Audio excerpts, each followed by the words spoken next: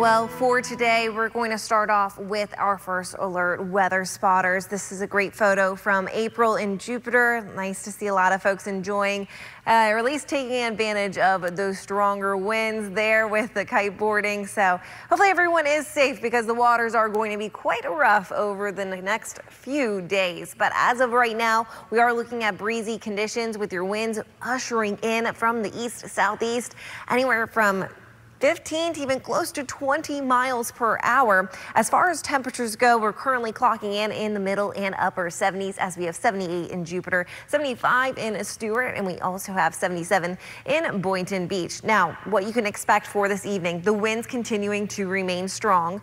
Few clouds expected tonight and overnight lows in the upper 60s to the lower 70s. Winds still staying with us. So you know what? Tomorrow is going to be a breezy day. Uh, high temperatures reaching into the middle 80s tomorrow afternoon and dealing with partly sunny skies.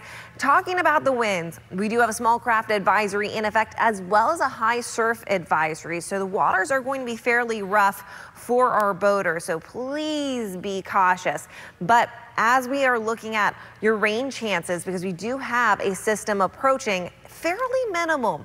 The system continues to trend a little bit later near dinner time on Thursday and overnight into early Friday. So we really don't have those elements or the ingredients for that front to really unleash. So Breaking it down for you right now, we're talking about high pressure systems staying in control with us for today, but we are watching a lot of this action out towards the west of us because that low pressure system is going to dig in areas north of us. Now, as far as your Thursday severe weather threat, locked towards the north of us, we are not in a severe weather threat.